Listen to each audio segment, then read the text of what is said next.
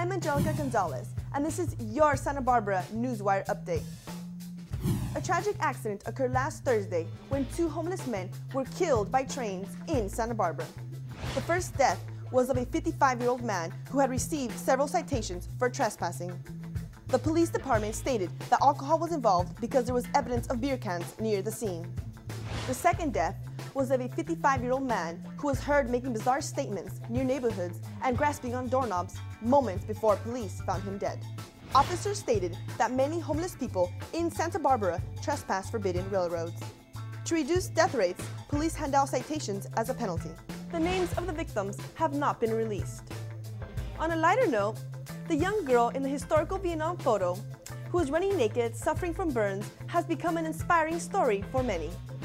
The 46 year old Kim Phuc gave an inspiring speech at a conference for burn survivors in New York City. Burn survivors were able to attend workshops and hear survival stories. Many firefighters and veterans attended and spoke. The pain I consider as my protection. It humbles me and helps me to never take my life for granted, stated Kim. Thank you, Kim, for sharing your story with us. This has been your Santa Barbara Newswire update. Remember to catch Newswire right here on Channel 21 or check us out online at sbchannels.net. I'm Angelica Gonzalez, and you've just been wired.